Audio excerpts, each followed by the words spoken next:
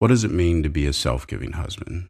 This is a concept that many husbands probably don't put too much thought into, but you really should if you want to show your wife love in a whole new way. Let's unpack this today. Welcome to the Husbands Coaches Corner, the podcast that teaches husbands how to love their wife every day and become better men in the process. I'm your host, Chris Scott, aka the Husband Coach. Welcome back to another episode of the Husband Coach's Corner. We are unpacking four attributes to show your wife love. Those four attributes are being mindful, graceful, approachable, and today we're talking about self giving. Now, before we dive too deep into the content, I do want to let you know about marriagedrills.com. In the description box below of whatever platform you're listening to this on, you'll find a link. It'll take you to the website. There's a lot of things you can do on that website, which one of them is joining my email list. Or you can suggest a podcast topic. And if you want to support this podcast, then consider buying me a coffee. The link is also in the description. Now, last week we talked about being approachable. This week, we're going to be talking about the attribute of self giving. Now, the definition of self giving is the act of giving one's self or one's time to others or a cause. Now, this definition doesn't at first glance sound like it really applies to husbands uh, and maybe even sounds a little ambiguous, if you will. But I'm going to help you see this in three different segments of the definition. The first one is it is an act. The second one, it is internal and personal. And the third one, it will cost you time. These are three things that we will unpack in today's episode in hopes of growing to become a more self giving husband. So, the first one, it is an act. So, first off, talk is cheap because actions, we all know they speak louder than words. If you are saying, I love you, but you're not doing anything that shows that you love your wife, you're going to miss the mark. Now, the beauty of self giving is this is one of those attributes where what you believe or what you are saying that you are willing to do, you actually show up and you do. This is not something that you can say, oh, yeah, I love you and I'm a self giving husband without having any proof that you're a self giving husband. So, this is something that you do. Now, if you're intimidated by the fact that you have to give up some portion of yourself to your wife, I'm not talking about an arm or a leg or a lung, which, you know, if you got to give an organ to your wife, maybe uh, that's you know something that you guys have to discuss. But what I'm talking about is really time, right? And we're going to get into that, but it's really time. And it's also something that you can develop since it's an it's an act. This is something that you can develop over time as you practice it more and more and more, right?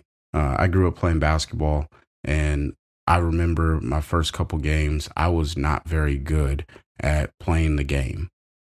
And as I practiced, as I paid attention to my coaches, I got better. And the same concept will happen with this particular attribute. The more you practice it, the better you're going to get, and the more familiar you're going to get, and the more self aware you will be because the second portion of this definition is it is internal and personal. See, you have to want to do this. If your wife is telling you, oh, you have to give me time, and you're like, oh, I got to give you time, you're not really in a giving mood, right? This is why it has to be self giving. You have to do this. This is yourself willing to give whatever it is, and it, it's going to be time. All right. This is not easy. This is hard because you have to overcome your own selfishness and become self giving. See, I think everyone can relate to being selfish. Uh, I think we all have a little bit of selfishness inside of us.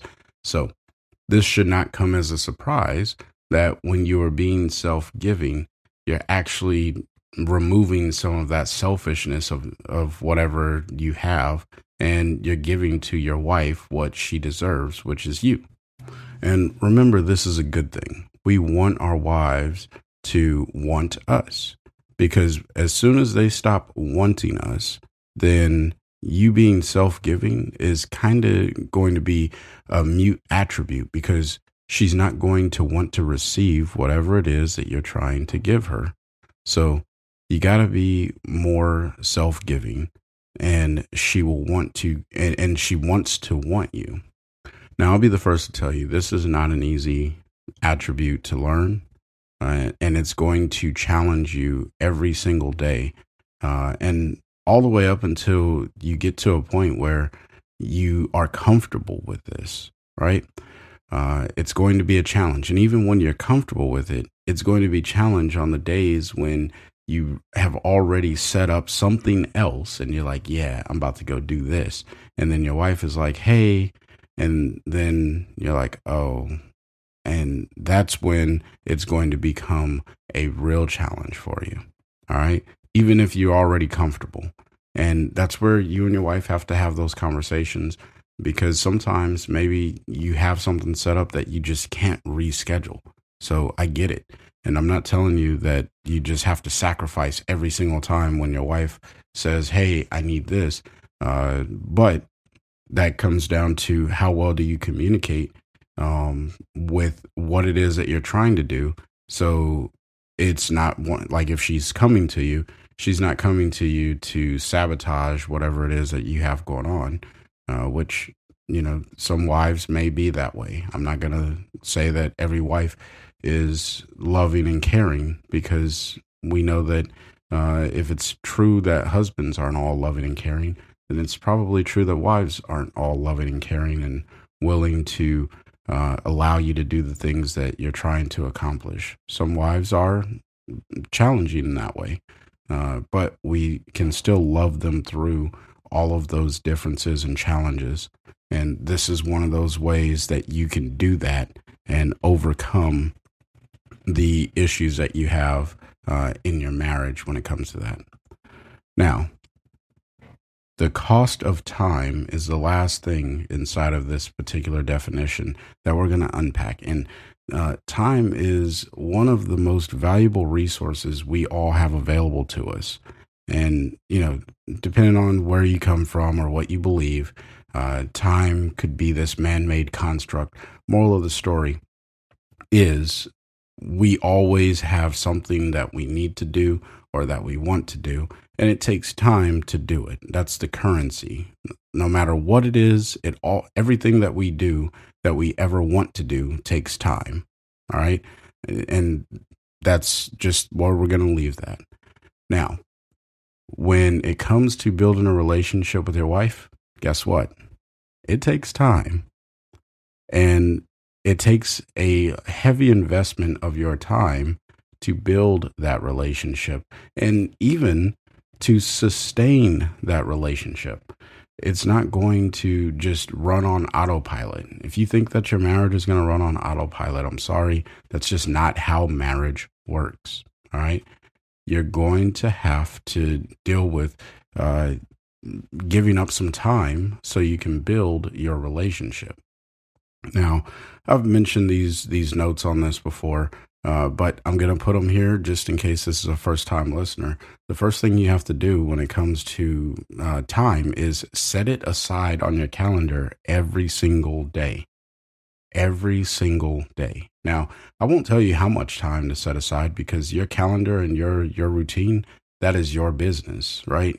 But it should be synchronized well with your wife and she should know when the time is that you are uh, you know establishing that is dedicated to her.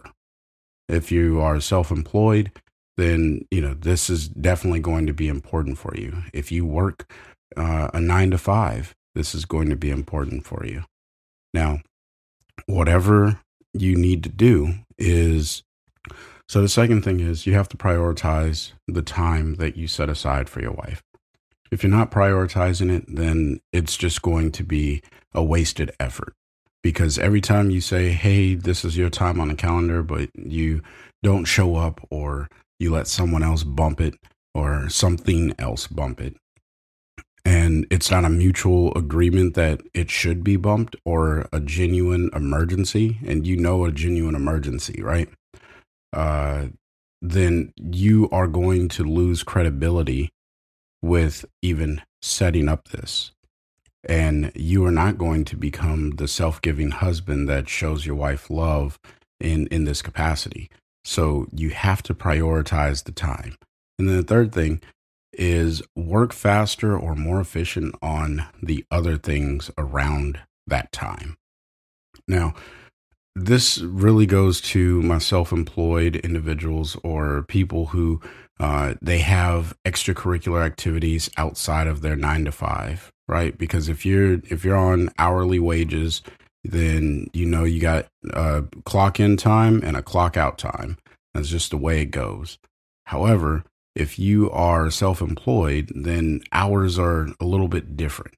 And you got to be a little bit more flexible with the way that you run your hours. However, if you know that eight o'clock is your time to spend with your wife, then you need to work more efficient on all the things that are leading up to eight o'clock, and you need to work faster on those things. Now, I get it. Some things they just take time because that's again the currency that we pay whenever we want to do something.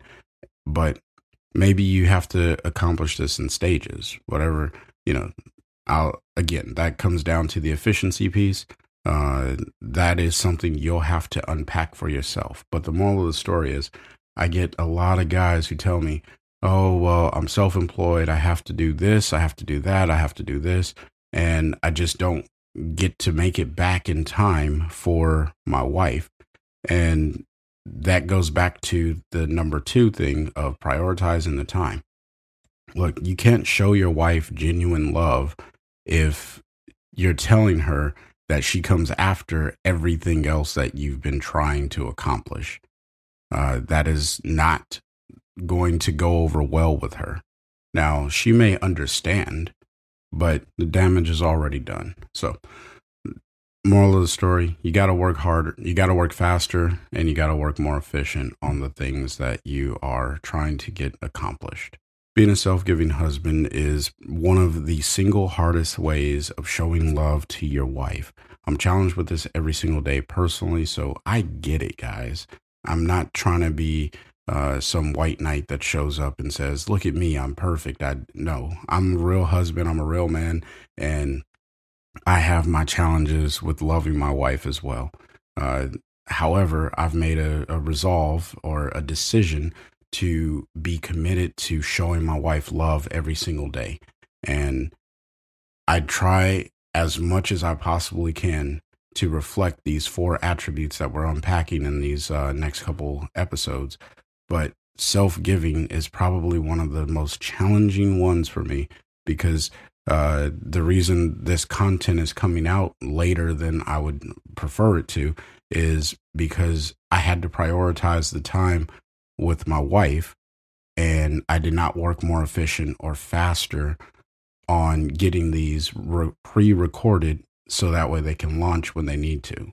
So you guys are experiencing firsthand uh, that I'm putting my mouth where, or I'm, I'm, I'm putting my actions where my mouth is. So, you know, I'm not some guy who just gets on here and says, "Hey, this is the answer," uh, but I don't do it. Like I, I do this, and I don't, or I do struggle with this. So, moral of the story: hopefully, that is encouraging to you that you don't have to be perfect.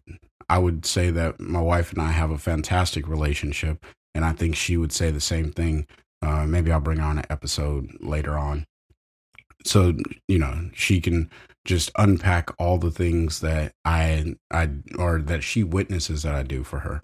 Um, and, you know, you guys can hear what she has to say. I'm not going to persuade her to say anything or, or whatever. I'm just going to let her share from her heart, uh, which I think you guys would real see that by putting in the effort you will be able to build your relationship in a meaningful way.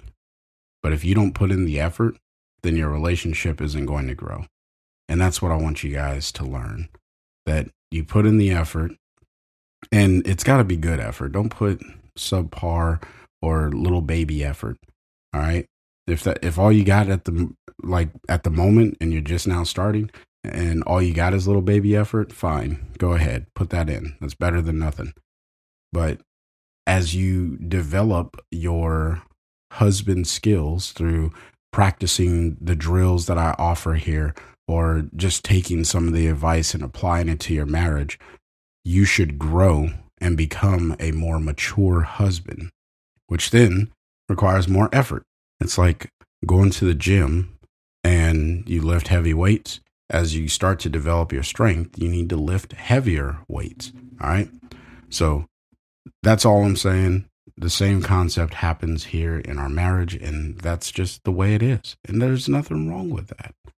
But what I will tell you over time, as the things you are giving up, which is your time, you'll realize the things that you're losing or perceivably losing are insignificant to the things that you will gain in your relationship with your wife and the credibility that you're going to gain with your wife and and the way that you're showing her love will be reciprocated in such an amazing way.